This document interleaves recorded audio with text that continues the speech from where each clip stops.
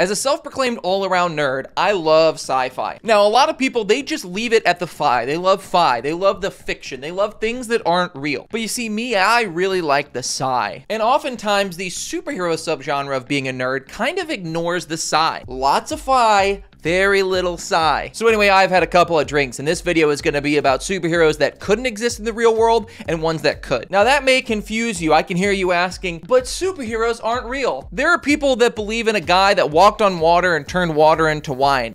Please let me have this. Now, there are superheroes that absolutely could not exist. For instance, Spider-Man. I can believe that he can climb walls. I can believe in the super strength, but my problem is with the with the with the webs, right? Do you know how fast a real spider shoots its webs? Siri, how fast does a spider shoot its webs? Okay, I'm to rely on this very trusted source, Quora. 28.8 meters a second. And if you're like me, you're now currently Googling how many feet per second that is. That's 94 FPS. Now, you imagine that a spider is like one, it's like, it's like not that, let's, okay, so I'm, I'm to assume, rough estimate, let's say it takes a thousand spiders. Doing really shitty math that I'm sure is not accurate, Spider-Man being like a thousand times the size of a spider would shoot it a thousand times as fast, right? I told you I really love the sci part of this. Anyway, if you drop a penny from the top of the Empire State Building and it hits someone on the head, it will go straight through the skull and kill them. You want me to believe that Spider-Man can shoot a web out of his arm and it's not just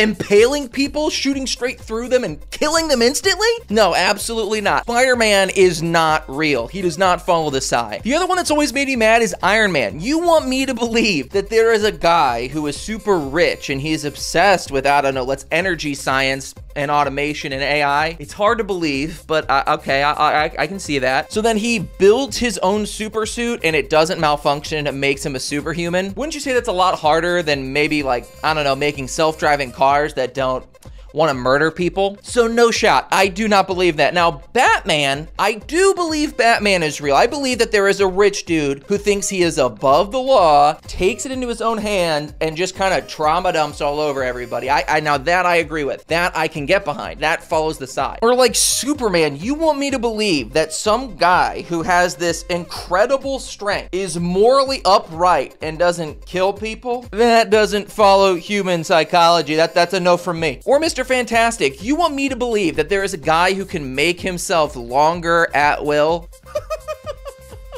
That guy would be taken captive and we would experiment on him just so, so, that we could get a pill that you could take to make it longer for like, you know, for when you want to reach shelves that are really high up or like the Flash. Now let's look at it this way. Either he is moving super fast and every bone in his body is being shattered by the G-forces or he exists outside of time and moves faster than everybody. At which point he would also be processing the world around us way faster. So he would speak faster than light. He would think faster than light. Wouldn't he also age at the speed of light? Well, not the speed, you, you know what I mean. Like he would age really fast too. There's no way the Flash could ever be real. Don't give me this Speed Force bullshit. Grant Gustin, you're, you're done. Your show is finished. Or what about Wolverine? My problem is that he's got like three knives, right? And he never has to sharpen them. That's just, that's just not possible. Now, if it was Wolverine with like three butter knives and he's like having trouble slicing zucchini really thinly, now that now that I would believe. But you wanted me to believe that there's a guy who has three knives on his arms and he never has to go to Costco for a cheap sharpening. There's, there's no way. Maybe they don't show it, and then I'd say, okay, believable. But yeah, no way Wolverine exists. Or what about Scarlet Witch? Scarlet Witch, right? Girl who says she's a witch, who buys crystals. I'm with you so far, but then can change reality at will. You know, I strive for a future where women can change reality itself, okay? I really do. I'm a great guy. You know what? I'm actually, I'm gonna flip that. I, I do believe in a world where Scarlet Witch can exist. Or like the Winter Soldier, you want me to believe that there is a war veteran with a disability that the government actually gave a job to?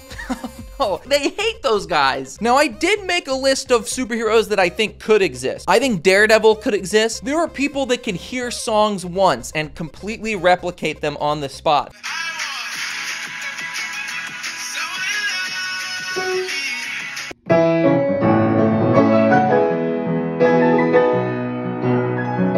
So I definitely believe that there could be a ninja who uses echolocation. That's a clear logical step. Or what about Cyborg? I mean, we have Neuralink, right? And that's been pretty successful in its testing. Okay, so maybe not Cyborg, but Black Canary. My mom used to be able to incapacitate people with her yelling. So if she started using that power for the greater good, oh, a different world we would live in, a different world. Or Black Panther. Somebody took a substance which suddenly gave them super speed, super strength, and it's it's just meth, isn't it? It's it's it's bath salts or meth. On the same vein of performance enhancing drugs, what about Professor X? That just feels like a neurodivergent icon in today's world. How do you know that if you stop taking your Adderall right now, you'd be able to hear other people's thoughts, okay? Professor X clears in my book. Hawkeye, same vein as Daredevil, he's a savant. I mean, Katniss Everdeen was basically him and she's real, right? Booster Gold, somebody that's convinced everybody that they're a superhero, but it's actually a rich dickhead from the future. 100%. I mean, look at Tom Cruise. Booster Gold is basically just Tom Cruise in the body of Will Neff. But, you know, Captain America, again, it's just bath salts. Hulk, shouldn't have to say it. And I definitely believe groups like the X-Men are actually pretty based in reality. The moment humans found out other people had superheroes, we would definitely be racist. But you want me to believe that every time somebody gets like a bunch of money, they're also super smart and then uses their money for the greater good of humanity?